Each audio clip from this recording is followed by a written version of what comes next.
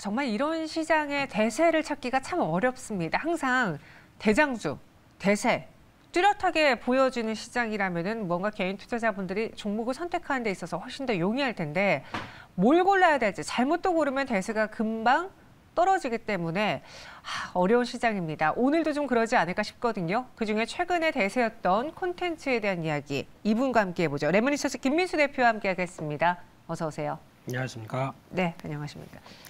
요즘은 뭐 대세주가 거의 없죠. 대세였던이라고 얘기를 하시네요.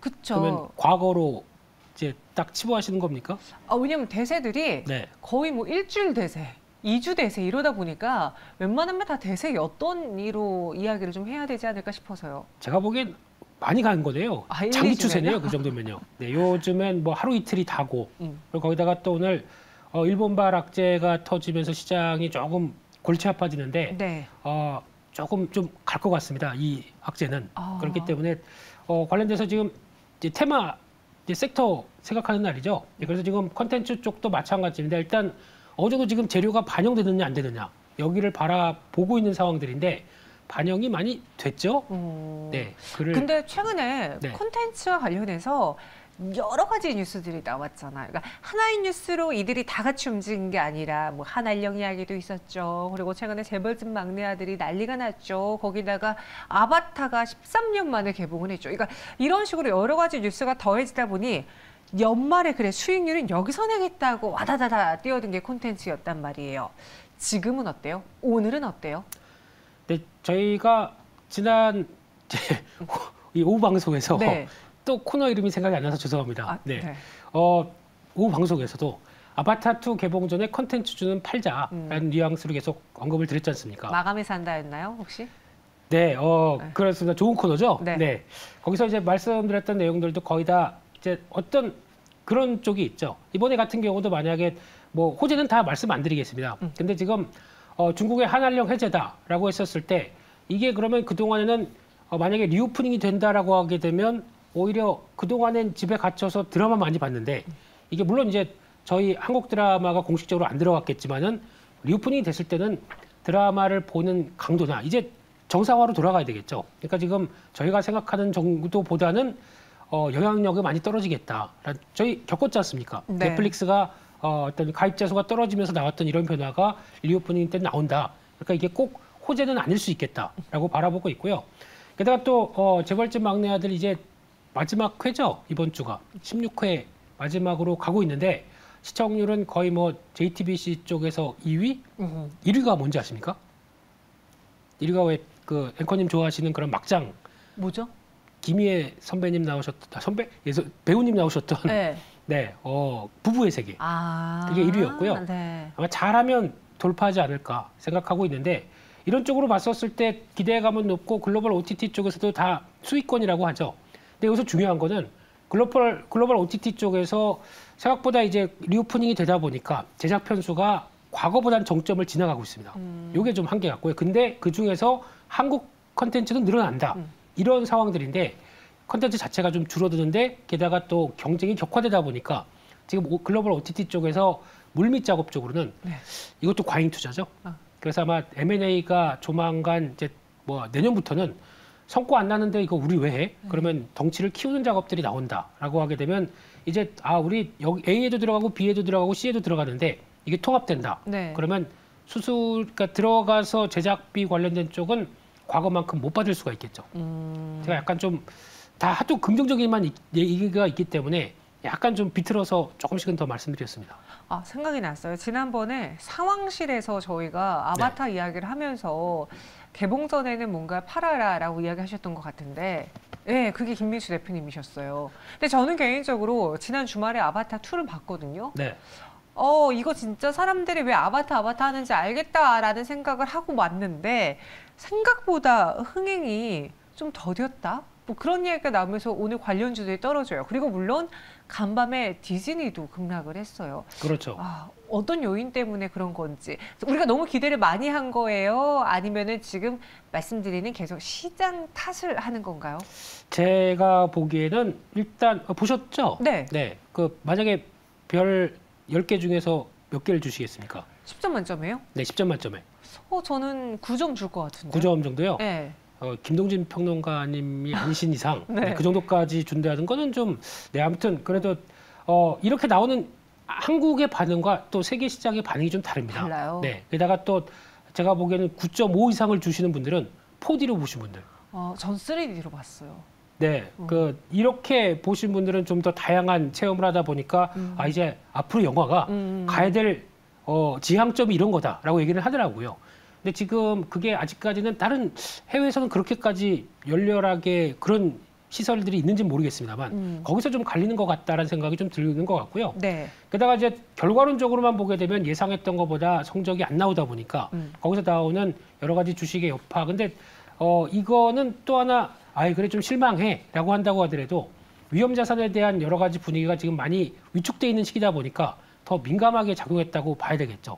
그래서 아마 어 지금 결론적으로는 어 저희가 보통 얘기하는 셀 온이라고 그러죠. 그러니까 영화 산업이나 이 흥행 산업 같은 경우도 뭐가 나온다라고 했었을 때 가장 중요하게 볼 거는 그 전에 기대감이 크다가 그 기대감 이상으로 뛰어넘어야 한 번 더 가죠. 근데 그게 못 나오게 되면은 지금 같은 현상이 나오지 않나라는 생각이 들고 있습니다. 네. 아, 그래서 약간 아반투, 아바타 2 관련주들이 생각보다 강하지 않았다. 사실 그래요.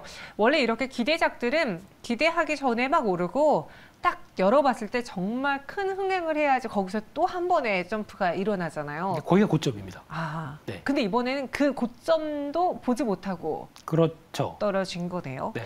여기 오늘 자이언트 스텝의 급락도 눈에 띄는데 자이언트 스텝 현재 주가 어, 14% 넘게 급락하고 있습니다. 아, 최근에 주가가 좀 바닥에서 많이 올라오던 찰나에 네이버의 157억 원 규모의 블록딜 소식이 들려왔어요. 근데 이 가격의 블록딜을 추진한다라는 건 네.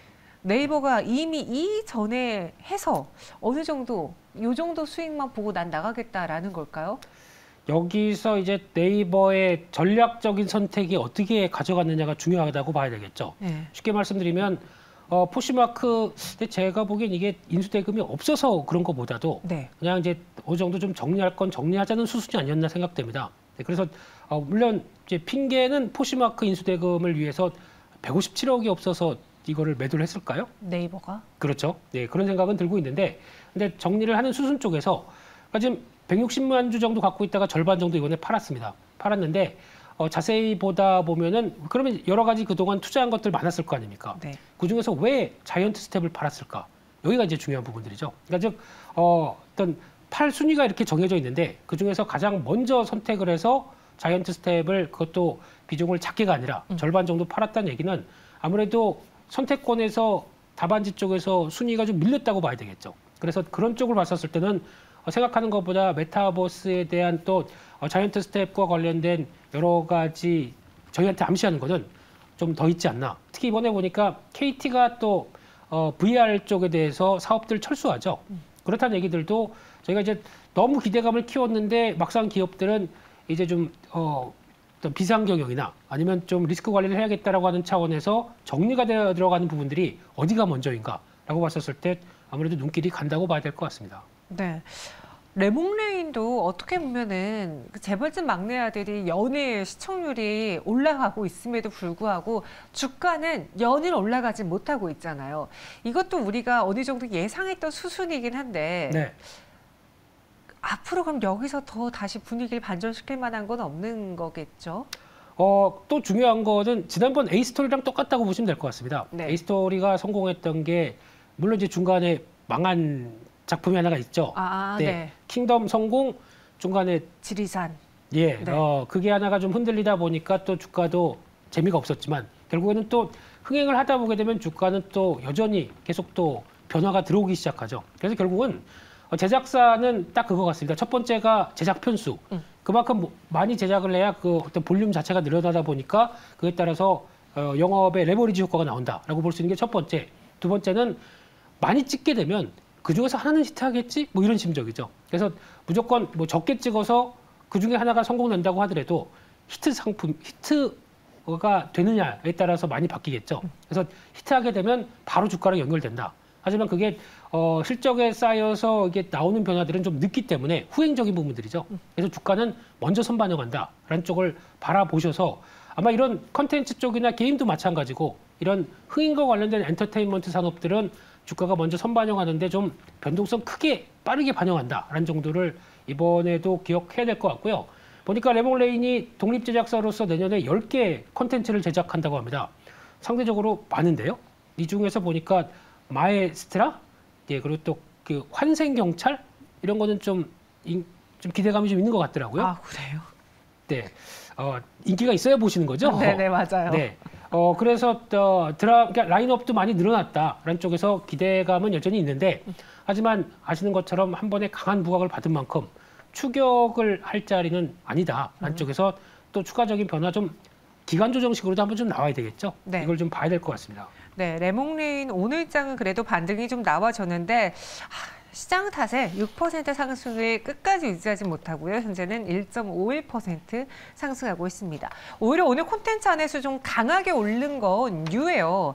장중에 10% 가깝게 올랐고 최근에 저점이 한 10월에 기록했던 5천 원대를 생각하면은 네. 거의 한50% 정도 오른 거잖아요. 그렇죠? 50% 이상 저점 대비 오른 거잖아요.